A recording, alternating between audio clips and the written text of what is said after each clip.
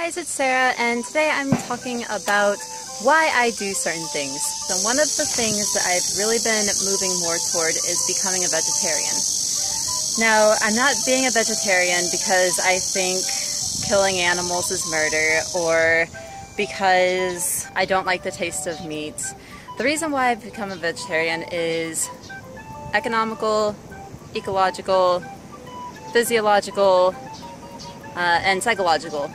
Those are the four reasons why I have decided to cut meat out of my diet. So, for why I actually have decided to give up meat. The first reason is because I don't have a lot of money. I live in Korea and meat is really expensive. And I don't want to spend all of my money on meat when I can find protein in other sources that are a lot less expensive. When Zach and I got married, we would only spend $15 a week on groceries, 15 to $20 a week on groceries. And so uh, meat is expensive and you can't spend your whole budget on meat when you only have $15 to spend. So we'd have to find other ways to eat. And so we would eat uh, like a lot of eggs and oatmeal and like dried, uh, like dried beans and rice and a lot of inexpensive things that weren't meat. So the first reason that I don't eat a lot of meat is simply because it costs a lot of money. The second reason is is that uh, raising meat takes a lot of energy. It takes a lot of energy from the earth, it takes a lot of energy from humans, and it doesn't really give back as much as it's worth. Like, these animals are raised and they have to eat a lot of vegetables or whatever they're eating in order to be raised. And so they are like the primary consumers. And so they get all of the nutrients, and then we become the secondary consumers. And so we get our energy from them, but they get their energy from the plants. It just, it's taking an extra step to get the energy that you need. So for me, like ecologically, it just makes more sense to eat the plants because you get all the nutrients from that. You are the primary consumer instead of a secondary or a tertiary consumer. Okay, so economically, ecologically, it just it takes up way too much energy. It's not an efficient way to get your energy.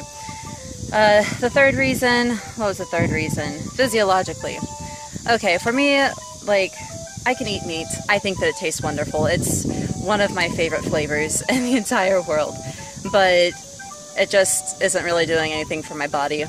It tastes great, but I don't ever really, can't really say that I feel good after I eat it. So why would I eat something if it doesn't make me feel better? I can eat other things and feel way better and be able to go for runs and not have to worry about feeling sick. So yeah, why eat it? So physiologically, it's not doing much for me.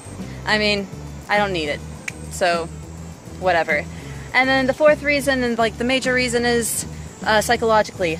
I just feel bad for the animals. Uh, I grew up on a farm and we would butcher our own animals. Like we had cows and pigs and chickens.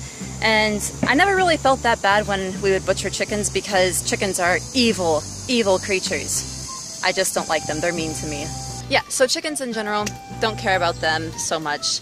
Uh, but I have started to feel a little bit worse for them because of the conditions that they're raised in. I don't know. I would say that a lot of people like who just eat meat blindly and waste it and stuff like that.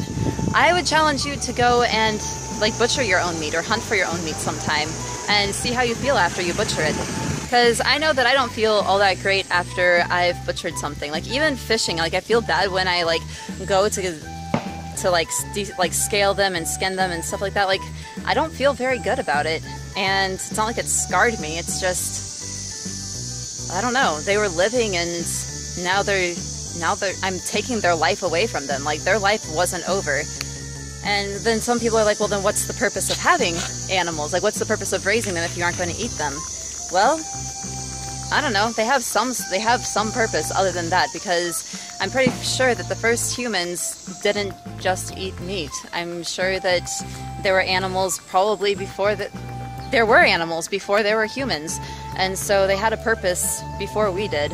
Now, like I said, I still do eat meat sometimes, uh, and that's because I don't want to waste it. Like, if you're gonna, if animals are going to die, then I don't want them to go to waste. If like someone serves me meat, I'm not going to be like, uh, no, because I don't want that meat to go to waste. That animal died for a reason, and now its reason is for me to eat it. So of course I'm going to eat it, but I'm not going to go out and just choose on my own to like go order a hamburger or go and order like a pork tenderloin, is delicious, just because like it, there's no reason to be other than that it's delicious. And I'm not saying that like everyone needs to become a vegetarian, but I would challenge you to think about how much meat you do eat. Just think about why you eat meat. Think about other than it's delicious. Is there other reasons that you eat meat? If you like this video, please let me know in the comments below. Give it a big ol' thumbs up. Subscribe to my channel where I talk about why I do things, show you some of the adventures that I have here in Korea, talk about teaching a little bit, and other random things. And until next time, I will see you when I see you.